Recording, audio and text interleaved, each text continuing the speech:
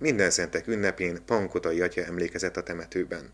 Mindenkinek vannak halottai, mindenki elhelyezett néhány szál virágot családtagjai, barátai ápolt sírjánál.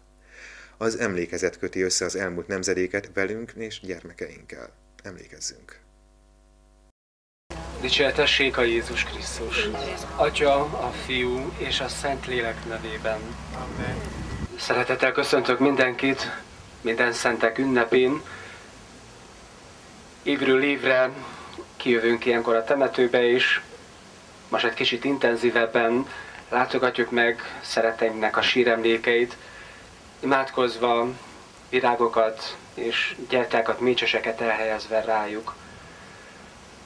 És az imádságban újra és újra azokat a mondatokat fogalmazzuk meg a Teremtő felé, hogy Istenem, adj nekik örök nyugodalmat, és az örök világosság fényeskedjék nekik. Az élők és holtak világát a feltámad Krisztus köti össze. Az ő világossága utat mutat nekünk, a föld élet zarántuk útját járó híveknek az ég felé, elmondj testvéreink számára pedig fényeskedik, mint örök világosság. Ezért a halottakra való emlékezésünk nem csak gyász és szomorkodás, hanem átcsinál rajta az örök élet hite és a feltámadás reménye. Hiszem a test feltámadását és az örök életet, imádkozzuk és valljuk az apostolok hitével. Ebben a hitben és reményben emlékezünk most az örök hazába elköltözött testvéreinkről. Szent Leszke Szent Pál apostolnak a korintusiakhoz írt második leveléből. Testvéreim, amikor a halálban testünk földi hajléka leomlik, Istentől kapunk lakást, örök otthont a mennyben, amelyet nem ember kéz épített. Bizalom tölt el minket, s nem feledkezünk meg arról, hogy még egy testben vándorként élünk, távol járunk az Úrtól. Hitben élünk, a szemlélet még nem osztályrészünk. Ám bizalommal tölt el bennünket, így jobban szeretnénk megválni a testtől, és hazaérkezni az Úrhoz. Ezért is igyekszünk az ő kedvében járni, akár közel vagyunk hozzá, akár távol járunk tőle. Inyájunknak meg kell ugyanis jelennünk Krisztus ítélőszék előtt, hogy kiki megkapja, amit test életében kiérdemelt, az szerint, hogy jót vagy gonoszat cselekedett. Ez az Isten igéje. Istennek legyen hála. Adj irgalmat,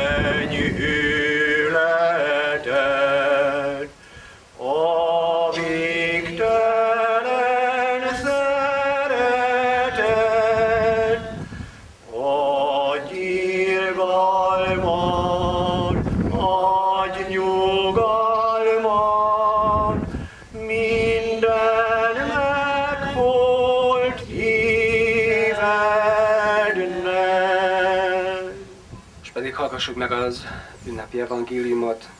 Az Úr legyen veletek.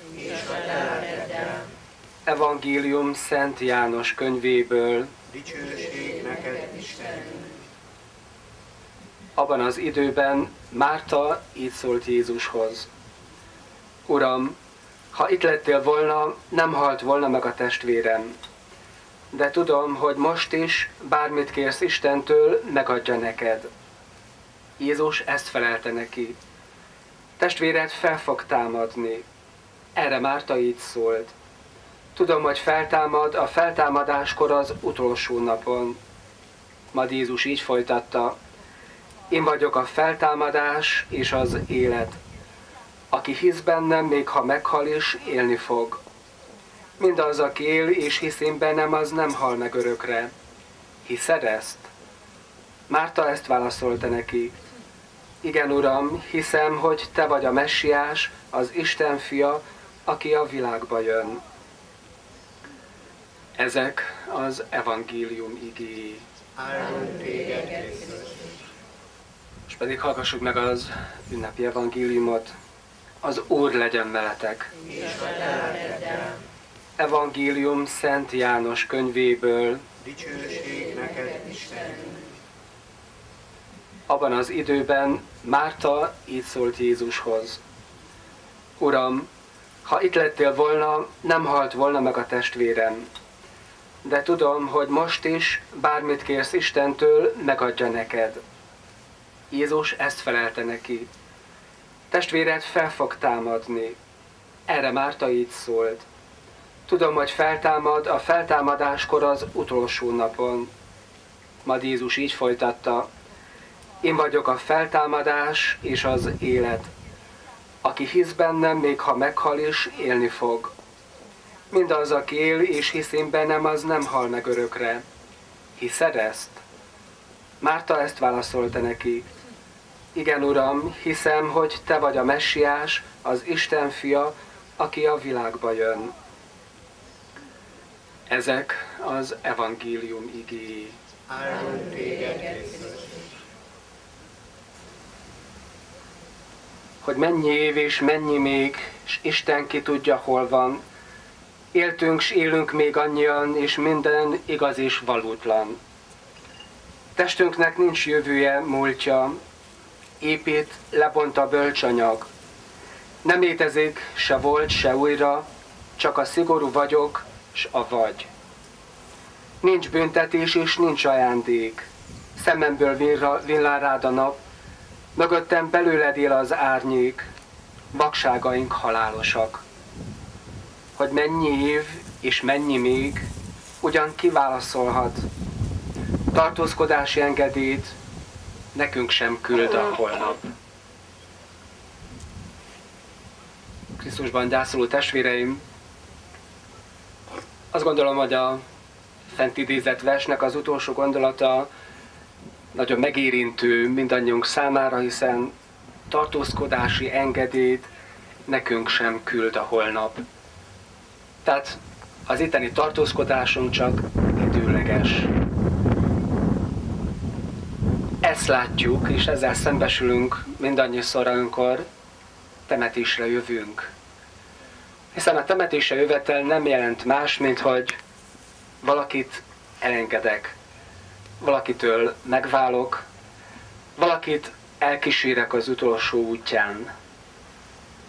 Közben gondolkodom, jól kísírom magam, és sok-sok kérdést teszek föl, hogy miért, és vajon milyen lesz majd a holnap.